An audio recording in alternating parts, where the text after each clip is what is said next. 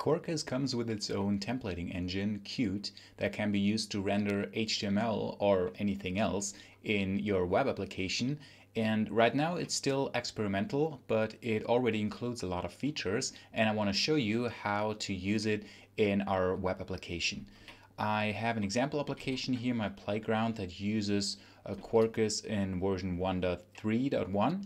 And I include this dependency, RESTEasy Qute, to include the templating engine, including some uh, JAX-RS support, because I think it makes a lot of sense for enterprise applications to use action-based MVC to use our routing from a REST controller and then forward to the templating engine. And you will see that this is um, done quite easily if we write a RESTful web service, if you write a REST resource, for example, entries resource, so what I will do, I will write a JAX-RS resource for something like blog post entries. So this is going to be an application scoped bean and a JAX-RS path for entries. So this will emit something for HTTP GET request to entries. And in my case, I want to emit, well, a rendered page for entries where all of my blog posts are listed, for example. So what I will do, I will have a method that in this case returns what is called a template instance. So that is integrated with JAX-RS. I can return this for, uh, from this method. And then I say something like entries.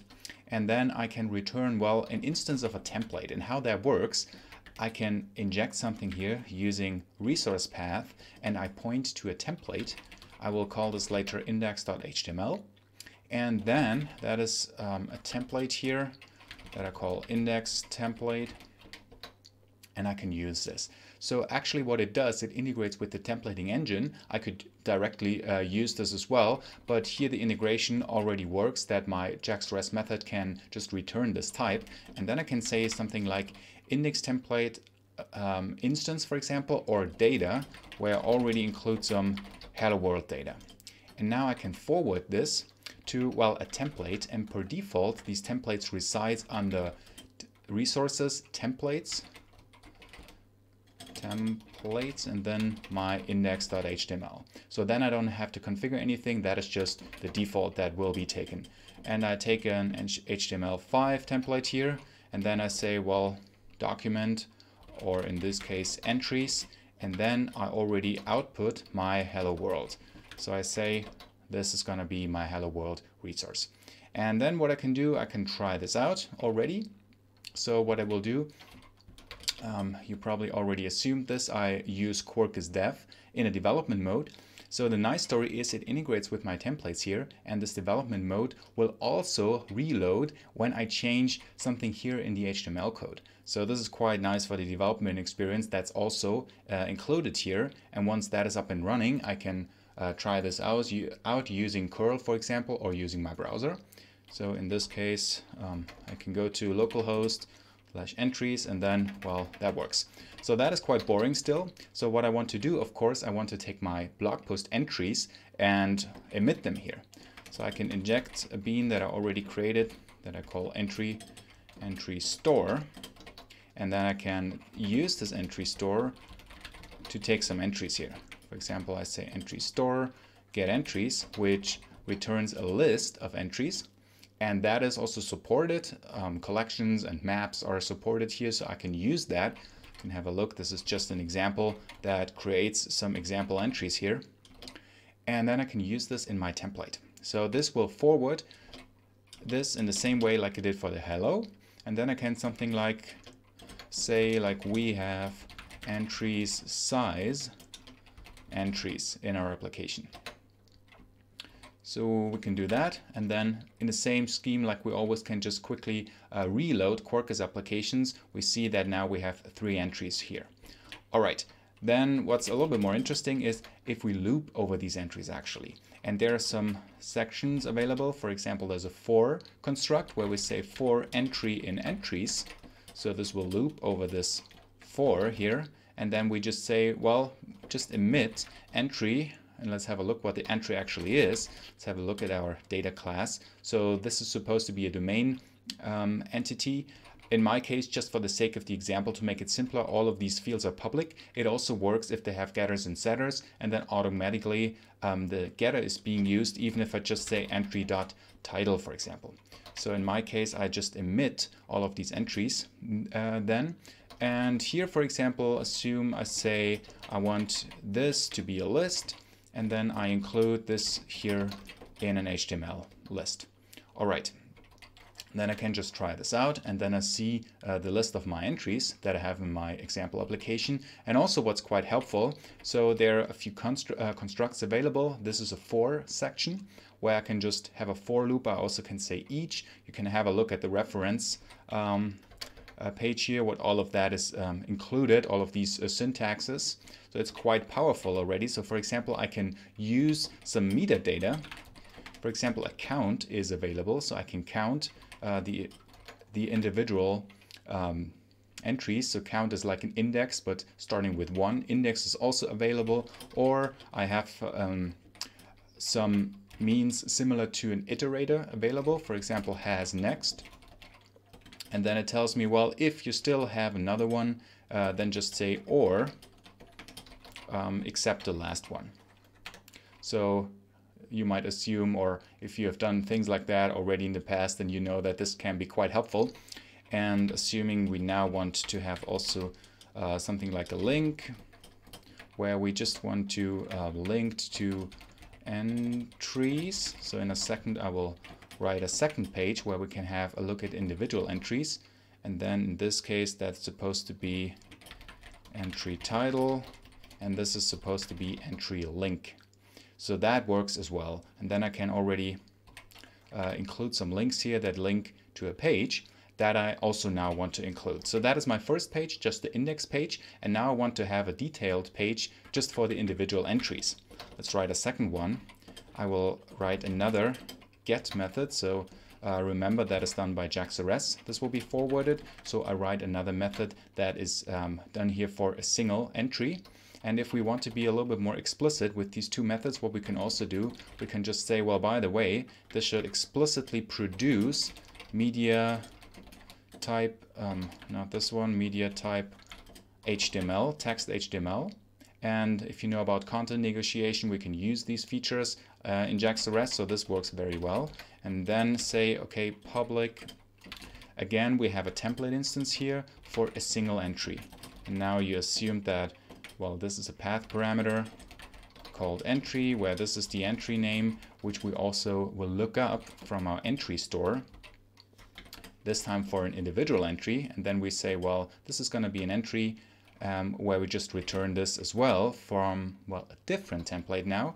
We will include a template for um, a single entry here that we call, let's call this entry.html, and this is going to be the entry template and then this entry template will be rendered for our entry, but only if that also exists. So what we can do if we say, well, in this case, if the entry is null, then we want to th uh, throw, we can throw, for example, a not found exception. That is a JAX-RS exception, and this works since this is a JAX-RS method.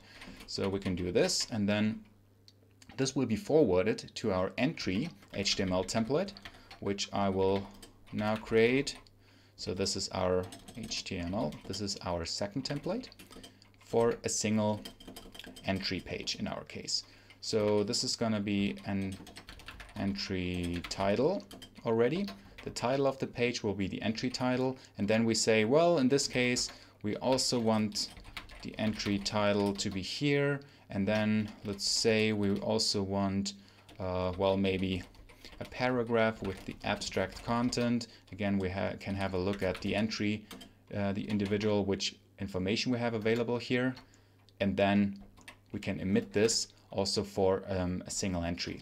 So for example, if we go to a single entry, then we see um, this result here. What is also interesting, per default, um, HTML uh, characters will be um, encoded so we see that uh, we have some HTML tags here in my example. So an entry store, uh, this includes uh, strong tags. So what it's done out of the uh, out of the box, this will just um, encode all of these characters unless I say dot .raw, then there's a raw access to my uh, to this variable, to this content, and then I can also render it depending what I need here, of course, for my data. Um, so this is quite um, uh, helpful already uh, to, to build all of these. And what I can also do, and this is now a really cool feature, I think, I can write something what is called a template extension. So assuming I have a date in my entry, and I do have a date here, so uh, let's say that is an en entry dot date, which actually in my case is a local date time. So it doesn't look very nicely if I just say dot string if I just print this. So what I um, can have, I can have a formatter to format this, but I don't want to have some overly uh, complex Java code uh, in my template. And also I don't really want to put this into my domain entity because um, that is the actual type, that is the type that makes sense, local date time, but I don't want to include a string just for the formatting, just for the sake of presentation. So what I can do, I can include what is called a template extension. So this is a static method that accepts um, a type, in my case my entry, and then it somewhat extends the type in the template where I can say entry.formatted date. And this is a static method that's annotated with template extension or where the class is annotated uh, here. And then I can uh, just say entry um, date formatted date in my case and then it gives me a nicely formatted date because it extends the entry and it will invoke this static method instead, which is I think a very nice way to just separate this data, this domain from the presentation logic here, which should reside in the template somewhat, but I also don't want to write it into my HTML code here that would um, just clutter up uh, this code.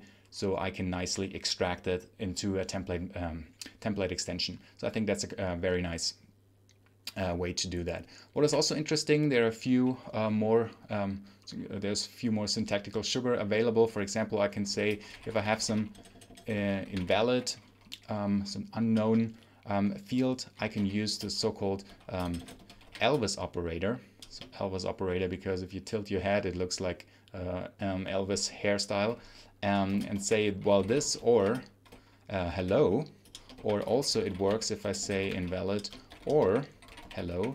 Uh, in the latter case, it will just um, say, well, hello, hello, or um, hello world, uh, to just display something when it's not available. It's also quite handy if I say, well, if I have invalid and then just trying to access something that doesn't exist, um, in my case, it doesn't fail uh, with a null point exception or something, it would just uh, print not found or um, a default here, and I don't get an error here in my case. So it's um, already quite powerful, I would say, uh, to write these templates uh, with our Qute templating engine and then render them either to use HTML, either in what I did, uh, JAX REST integration, or just plainly somewhere in our code. It also integrates uh, with email, um, email templates that I can send, and then just um, have them rendered uh, in this format. Um, you can have a look at this documentation here, which is um, which includes quite a lot of things. And in general, I think it's just uh, quite interesting that it already comes um, with quite some powerful features. So if you know about you know how to do web application development, um, at least from my perspective, uh, I don't miss anything uh, here in this template um, engine, although it's right now still in experimental mode. And it also integrates uh, with the native compilation of Quarkus. So you can also compile that down to a native executable and it will work with your templating approach. Thanks for watching.